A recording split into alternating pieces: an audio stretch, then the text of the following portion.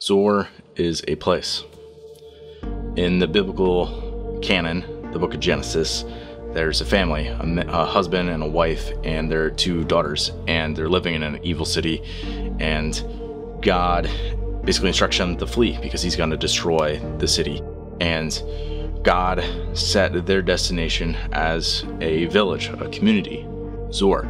So they started on the journey. And you know, like anyone, initially they had a lot of energy and a lot of drive to escape the current situation, and they had a lot of uh, focus as they were going about their journey. And after walking for a long time and becoming pretty weary, the wife gets distracted and she looks back at the city that's being destroyed, and in that moment, God turns her into a pillar of salt. And I believe that's really symbolic for what a lot of people experience in their fitness journey. You know, initially they set these goals and they get really excited about them they have all this energy going towards the thing.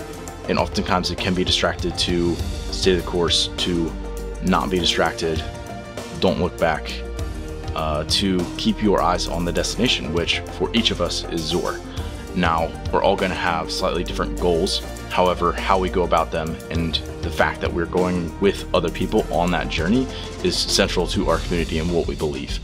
So that's why I'm always constantly reminding my athletes to stay the course, don't look back, right? Keep your eyes on your Zoar, right? Your destination, and make sure that you are enlisting the help of other people as you go about your journey so that you don't get pulled and swayed from all the stuff that's going on, all the noise in the environment. That you can have a group of people who are all oriented towards the same thing and be working towards a similar goal.